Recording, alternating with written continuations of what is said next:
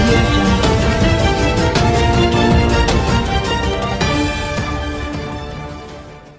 మామూలుగా అందరం అనుకునే సామెత ఒకటి ఉంటుంది ఇంట గెలిచి రచ్చ గెలవమని. కానీ ఈ అమ్మాయి మన అమ్మాయి రచ్చ గెలిచింది ఇంటికి వచ్చింది welcome home.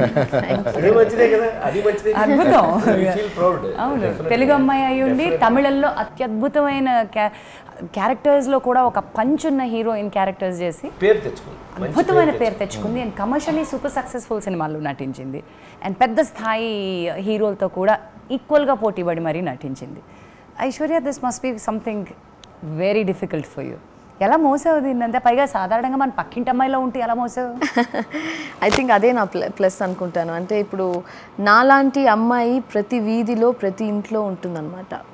So they they can easily connect relate చేస్తారు. ఇప్పుడు రాజేంద్ర ప్రసాద్ గారు చెప్పినట్టు మా నాన్నగారికి చిన్నప్పటి నుంచి ఫ్రెండ్ వాళ్ళ డాటర్స్ని అందరూ మాకు చాలా ఫ్యామిలీ ఫ్రెండ్స్ సో నన్ను చూసినప్పుడు ఆయనకి ఆయన కూతురు లాగే ఉంటుంది.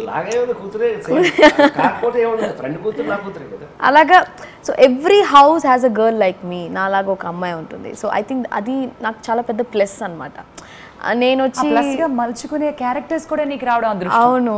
అంటే ఇక్కడ సి బేసికలీ వెన్ ఫిల్మ్స్ అంటే ఇది so much obsessed with colour ఉంటుంది. బాగా తెల్లగా ఉండాలి బాగా సైజ్ జీరోస్ ఉండాలి. హీరోయిన్ అంటే అదే అది నాకు. అదే. అది నాకు సూట్ అవ్వదు. సో నేను చేసిన క్యారెక్టర్స్ అంతా కూడా అలాగే ఉంటాయి. నా సినిమా మీరు తమిళ్ళో కాకాముట్టే అని ఒక సినిమా చేశాను. రెండు పిల్లలకి తల్లిగా చేశాను. Like a slum mother.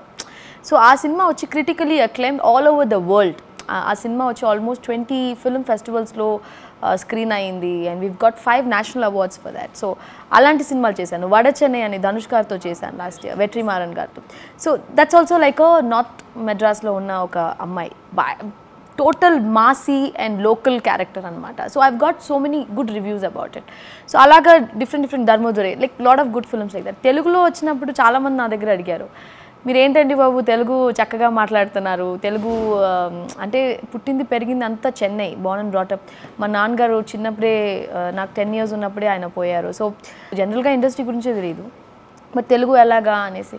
So నేను అనుకున్నాను తెలుగులో చేస్తే మంచి సినిమాతోనే ఎంట్రీ అవ్వాలి అని ఒక్కటి మాత్రం ఫిక్స్ అయ్యాను.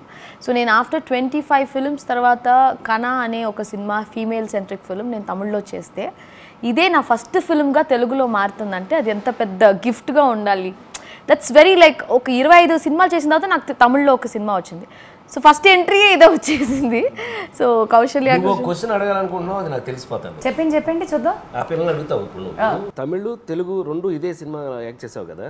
నీకు తమిళ్ళో యాక్ట్ చేసేటప్పుడు బాగుందా? తెలుగు అనుకుంటున్నావు కదా? అడుగు మరి. తర్వాత అడుగుదాం అనుకున్నాను. మీరు ముందు దాన్ని అడ్వాన్స్గా తీసుకొచ్చేసారు. చెప్పండి. లేదు ఇప్పుడు ఏమవుతుందంటే ఒక్కొక్క సినిమా మనం యాక్ట్ చేస్తాం. చూసినప్పుడు సినిమాలో అయ్యో ఈ సీన్ కొంచెం బాగా చేసి ఉండొచ్చు ఈ యాక్షన్ కొంచెం బాగా చేసి ఉండొచ్చు ఈ బౌలింగ్ యాక్షన్ కొంచెం సరిగ్గా లేదు అనేది నాకు చాలా అనిపించింది తమిళ సినిమా చూసినప్పుడు. సో అవన్నీ నేను ఈ సినిమాలో కరెక్ట్ చేసేసుకున్నాను.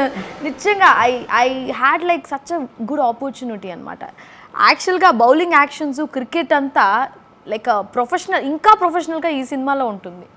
ఫస్ట్ ఫస్ట్ టైం గా అప్పుడు అంతకుముందు మిస్టేక్ ఏంటి మనకు తెలిస్తే దాన్ని ఆటోమేటిక్గా రెక్టిఫై చేసుకుంటూ ఉంటాను అదే. నేను సీనుతోనే ఎప్పుడు జోక్ వేస్తూ ఉంటాను. అన్నగారు ఇందాక టేక్ అన్నప్పుడు బాగుంది అనేవాడు. ఇంకోటిది ఇంతకంటే బాగా చేస్తాను అనేవాడు. ఈ సినిమాలో అంతర్గత విషయాలు కొన్ని నేను బయట పెట్టబోతున్నానండి. అదేంటంటే. చచ్చిపోయాం పర్ఫెక్షనిజం తో మా డైరెక్టర్ భీమనేని శ్రీనివాసరావు గారు ఒక పర్ఫెక్షనిస్ట్ అలా అని తాటోల్చే పర్ఫెక్షనిస్ట్ కాదు. ఆయన ఆయన నలిగిపోయే అని నువ్వు- లేవు. మాకు దొరి ఇందులో సినిమాలో తను కూడా యాక్ట్ చేశాడు. తెలుసా నీకు? నాకు దొరికిపోయాడు. యాక్టింగ్లో యాక్టింగ్ దగ్గర.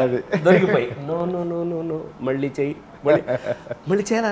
మళ్ళీ చే మళ్ళీ చేస్తాను చేస్తాను చిన్నపిల్లలాగా సో డైరెక్టర్ గారు ఈ సినిమా మీకు నటనగా కూడా ఒక మైల్ రాయిగా మిగిలిపోద్దేమో మీరు కనిపించారు పాత్రలో కనిపించారు అది వేరు కానీ ఇది మంచి క్యారెక్టర్ అంటున్నాను నేను. క్యారెక్టర్ పరంగా నాలుగైదు సీన్లే ఉంటుంది కానీ కొంచెం రిజిస్టర్ అయ్యే క్యారెక్టరు.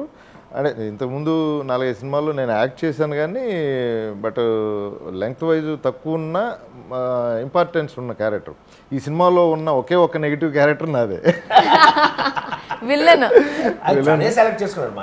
అది కాబట్టి అందరూ అది అందుకే ఇప్పుడు అన్ని పాజిటివ్ క్యారెక్టర్ల మధ్య ఓ నెగిటివ్ క్యారెక్టర్ ఉంటే దానికి తెలుగుగా సెలెక్ట్ కనపడతాడని. అయితే ఈ మొత్తం నేపథ్యం ఒక గ్రామీణ నేపథ్యం. ఒక రైతు కుటుంబం నుంచి బాగా పల్లెటూరు నుంచి వచ్చిన ఒక అమ్మాయి ఎలా క్రికెటర్ అవ్వాలని కలలకంది. అది సాధ్యమైన కళ అసాధ్యమైన కళ ఏమేమిటి సామాజికంగా ఏమేమి అడ్డు ఆడపిల్లలకు ఉంది అని చాలా జెంటిల్గా డిస్కస్ చేశారు. అలాగే రైతులు ఈ ఈ మధ్య కాలంలో ఉన్నటువంటి రైతాంగ సమస్యలను కూడా చాలా గట్టిగా డిస్కస్ చేశారు. ఈ రెండు చాలా చాలా డిఫికల్ట్. రాజేంద్ర మ్యాచ్ చేయటమే కష్టం. యాక్చువల్గా రైతు ఏంటి క్రికెట్ ఏంటి? ఏంటండి? వీడియో నచ్చిందా? అయితే ఓ లైక్ వేసుకోండి. లేదంటే ఓ కామెంట్ చేయండి. ఎప్పటికప్పుడు మా వీడియోస్ చూడాలంటే సబ్స్క్రైబ్ చేసుకోండి.